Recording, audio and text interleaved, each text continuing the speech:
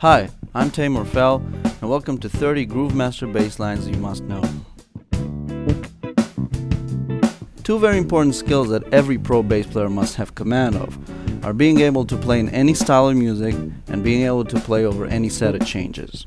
Across this collection of 30 bass lines, we'll be covering various grooves in a variety of styles over a wide range of harmonic situations. The techniques and approaches that you'll learn in this course will help you develop the skills you need to create your own grooves in any musical situation. I've organized the bass line into five groups.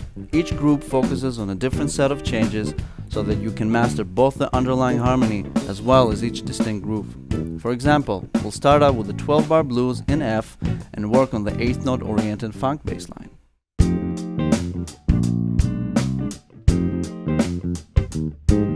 And then we'll apply the shuffle to the same blues structure.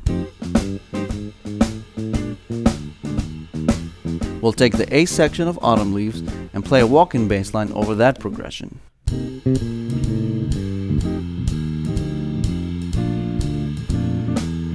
But we'll also work on some Brazilian rhythms like the bossa nova.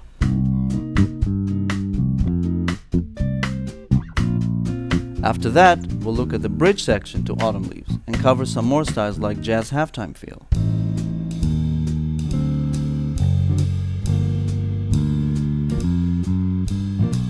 And a slap funk bass line where we'll show how the bass and the drums stick together.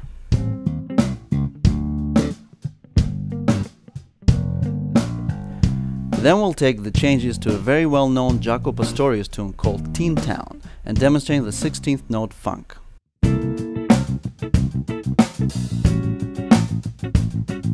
As well as a solid R&B groove.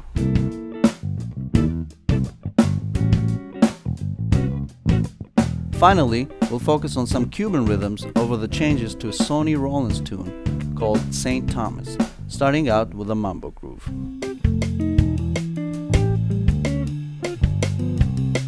We'll also work on a cha-cha feel.